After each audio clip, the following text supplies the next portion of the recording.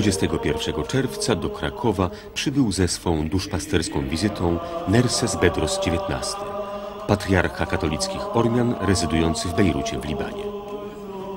Z okazji 1700. rocznicy przyjęcia przez Armenię chrześcijaństwa odprawił w Bazylice Mariackiej mszę świętą w obrządku ormiańskim dla licznie zgromadzonych tu polskich Ormian.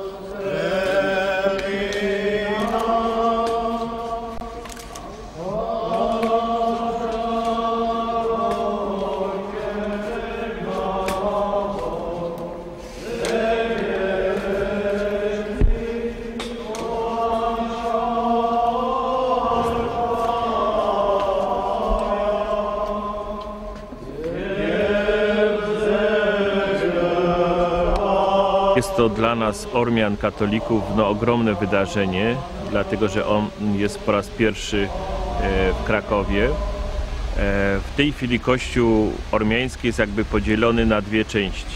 Pierwsza część to Kościół e, monofizycki, czyli Kościół gregoriański, który podlega katolikosowi w Eczmiazynie. Natomiast od wielu wieków Ormianie w Polsce są katolikami. Do niedawna, czyli do II wojny światowej, istniało arcybiskupstwo e, ormiańsko-katolickie w Lwowie, obecnie już nie istnieje i zwierzchnikiem wszystkich Ormian katolików jest właśnie Nerses Bedros z Bejrutu. No wiadomo, Ormianie żyją w diasporze, więc każde takie spotkanie jest szalenie ważne dla nich. Orne suk zar diar meroj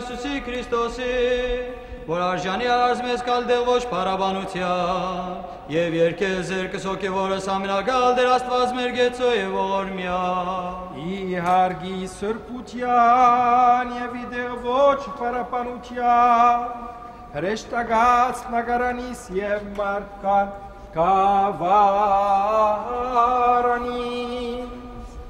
Do roku 1945 całe życie społeczności ormiańskiej, zarówno religijne i kulturalne, kwitło i rozwijało się na dawnych kresach południowo-wschodnich Rzeczypospolitej.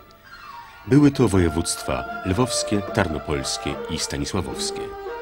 Istniało tam osiem ormiańskich parafii, 48 kaplic. Największym ośrodkiem Ormian był Lwów. Inne większe skupiska to Chorodenka, Stanisławów, Śniatyń, Kuty, Brzeżany. Biskupstwo ormiańskie e, już Kazimierz Wielki erygował, no a potem wszyscy królowie właściwie potwierdzali to, także to była siła jakaś e, dla, dla gminy ormiańskiej. Zresztą oni zawsze na, właśnie nie tworzyli takiego getta może jak... e, Nie, e, oczywiście. ale niemniej to, to była, gmina ormiańska miała swoje prawa, był wójt, Wójta, y, tak, wójt y, ormiański. Sąd był ormiański, prawda?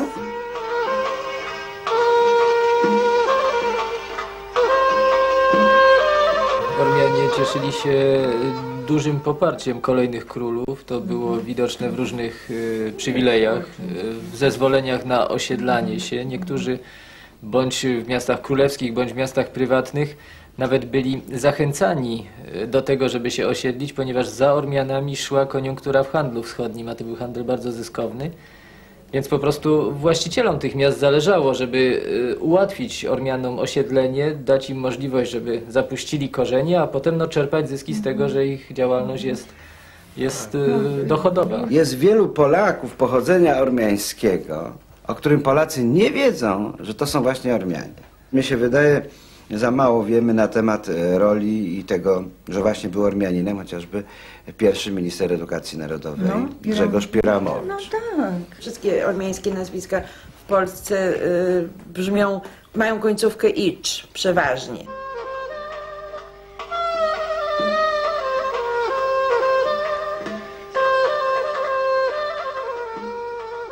Ja od pewnego czasu z nominacji księdza prymasa zajmuję się duszpasterstwem Ormian. Moja matka jest Ormianką. I w tej chwili tworzy się na nowo struktura Kościoła Ormiańsko-Katolickiego w Polsce. No, od prawie 60 lat było to wsz- wszystko w bardzo e, było w ogromnym rozproszeniu i dlatego należy te parafie tworzyć od nowa. Nasi polscy Ormianie dzielą się na dwie grupy. Pierwsza grupa to Ormianie, którzy pochodzą z Lwowa, Stanisławowa i z dawnych kresów Rzeczypospolitej. Jest to grupa już zasymilowana od wielu lat w Polsce. Wszyscy są katolikami i wszyscy używają języka polskiego jako języka rodzinnego. Natomiast druga grupa, o wiele większa, są to Ormianie napływowi, którzy przybyli do Polski dopiero w ostatnim dziesięcioleciu. Pochodzą oni głównie z Gruzji, ale nie tylko, bo przede wszystkim z Armenii, z Bliskiego Wschodu, także z Ukrainy i Białorusi. I są to Ormianie, którzy no, mówią językiem ormiańskim bądź rosyjskim.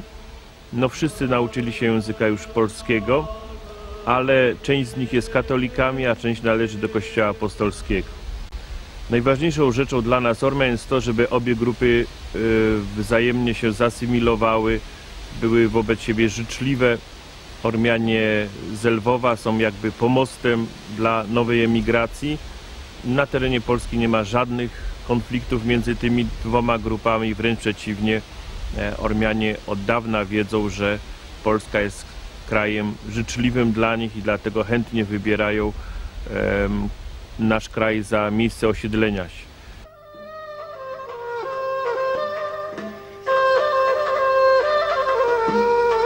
Kiedy przyjechaliśmy w 89 roku tutaj, to szczerze mówiąc byłem trochę zdziwiony. E, no, wiedziałem, czy przypuszczałem, że musi być ormiańska wspólnota w Polsce, no bo jak w innych krajach jest, wszędzie jest, to dlaczego ma w Polsce nie być? Nie?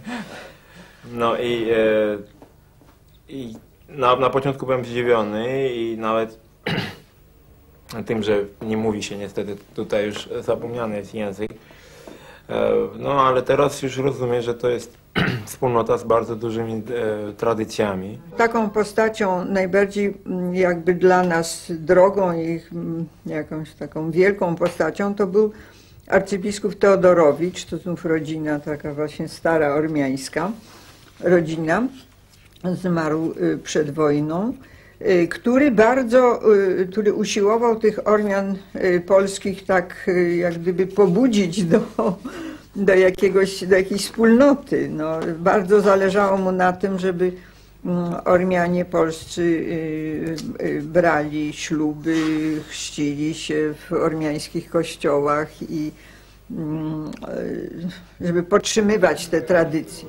Ale w tej chwili widzimy pewne odrodzenie. Jest jakiś taki jakby renesans y, świadomości, prawda, y, ormiańskiej. Iskmek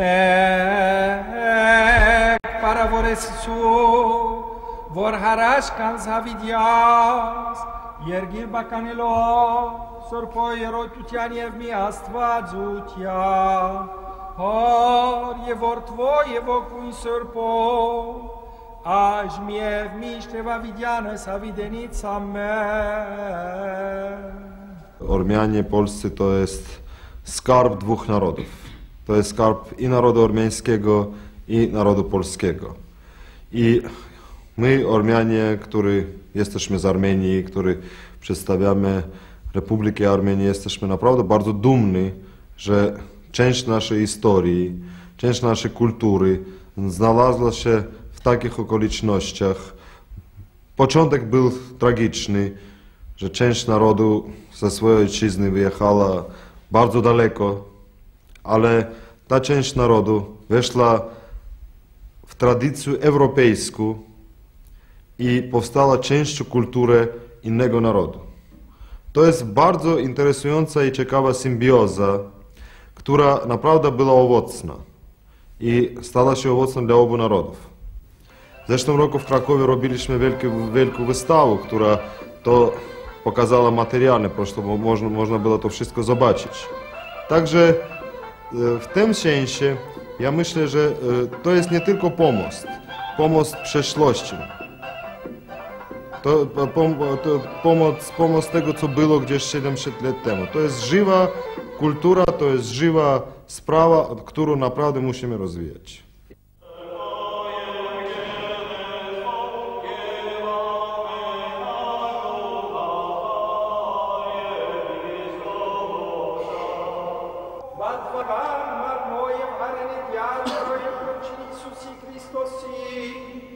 Jašage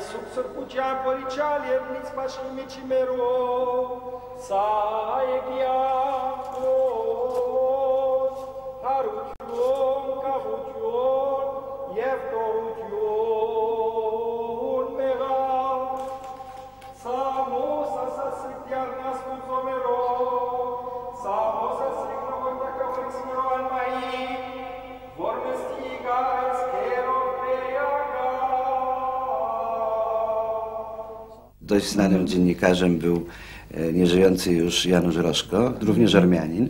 I nie wiedziałem o tym, że on jest spokrewniony z pierwszym e, proboszczem e, parafii ormiańskiej w Gliwicach, zresztą e, księdzem Roszko, który e, przywiózł bardzo wiele cennych rzeczy ze wschodu, między innymi e, cudowny obraz, który jest e, przedmiotem kultu.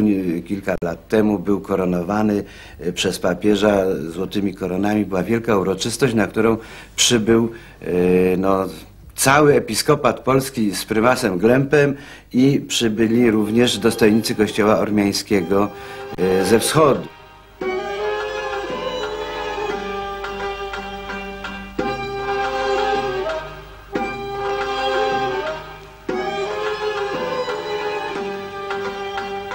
Dzięki temu te, ten obrządek się zachował, że schronił się niejako pod skrzydło Rzymu. Dzięki temu w ogóle się zachowało wiele spraw ormiańskich w Polsce, że udało się doprowadzić do tej unii e, z kościołem e, rzymskim. W pałacu arcybiskupów krakowskich patriarcha Nersos Bedros XIX przekazał papieskiej Akademii Teologicznej dar w postaci oryginału ręcznie napisanego przez księdza ormiańskiego z Lwowa Stefana Rożkę wielkiego słownika łacińsko-ormiańskiego. W podziękowaniu kardynał Franciszek Macharski przekazał patriarsze zabytkowy ormiański kielich mszalny, przywieziony przed 50 laty z dawnych kresów. Ten egzemplarz, który właśnie tutaj posiadamy w tej chwili e, w Krakowie, który został dzisiaj przekazany przez siostrę e, księdza Kazimierza Rożki, e, potomka tej rodziny, która właśnie wydała autora słownika Stefana Rożki, jest e, właśnie czymś zupełnie nowym, nieznanym nauce i każda tego rodzaju każde tego rodzaju od, odkrycie cieszy wszystkich zajmujących się sprawami or, ormiańskimi. To jest stary, to jest unikalna rzecz. XVIII wiek, jak to było, prawda, opracowywany na, na tym. Całe szczęście, że się szczęśliwie, prawda, uchował.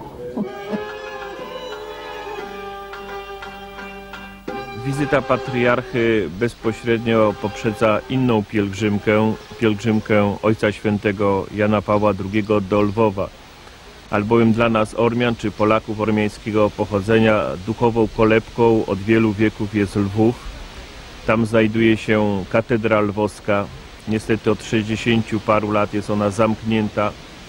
Ostatni arcybiskup Józef Teodorowicz zmarł w 1938 roku i od tej pory nie ma ani w Polsce, ani na Ukrainie biskupa ormiańsko-katolickiego.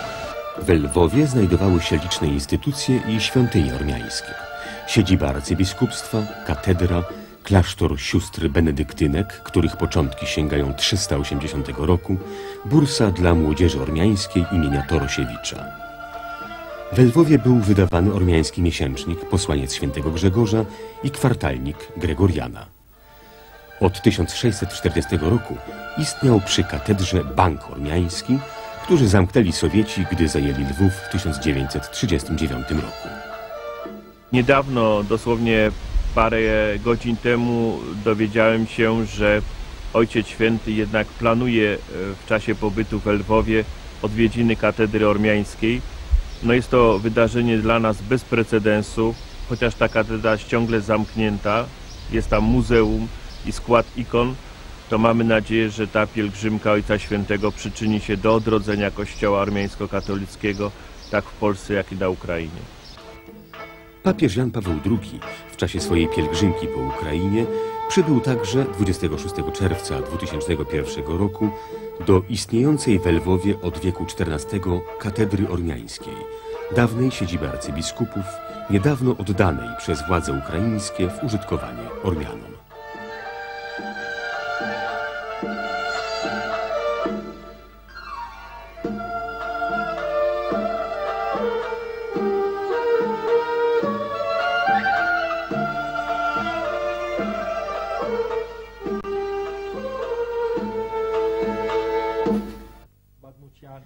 Jubileusz 1700-lecia chrześcijaństwa Armenii trzeba uczcić godnie. Ormianie winni być dumni z przynależności do swego narodu. Dotyczy to również diaspory. Gdziekolwiek Ormianie przebywali, czy to w Polsce, czy w Rosji, czy w Persji, wszędzie byli szanowani.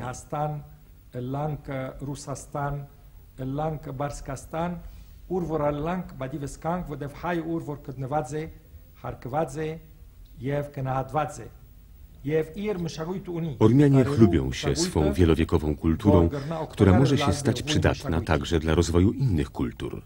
I tak się dzieje na wszystkich kontynentach. Również ten aspekt, kulturotwórczy, warto przypomnieć z okazji 1700-letniej rocznicy chrztu Armenii.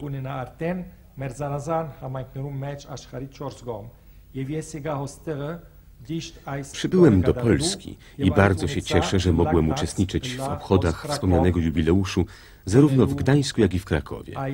W obchodach tych brali udział zarówno Ormianie, jak i Polacy.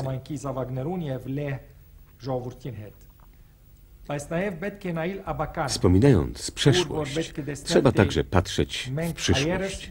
Zachowujmy tradycję odziedziczoną po świętym Grzegorzu i odnawiajmy ją tak, byśmy stale postępowali zgodnie z chrześcijańskimi zasadami.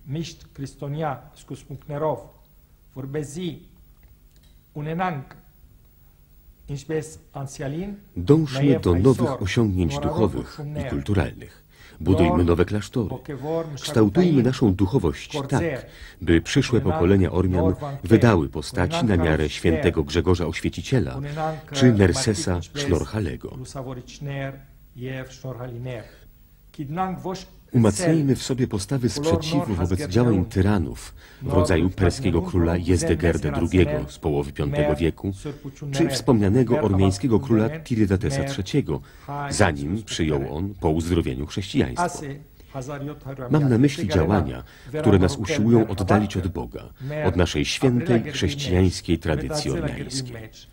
Pod takimi właśnie hasłami winny przebiegać obchody jubileuszu 1700-lecia chrztu Armenii. Jeśli zdołamy z tej okazji odnowić naszą wiarę w czynach i słowach, to osiągniemy nasz cel. Wielki jubileusz już wycisnął piętno na narodzie ormiańskim, potwierdzając jego wspaniałe powołanie. A dalsze plony obecnych uroczystości zbiorą przyszłe pokolenia.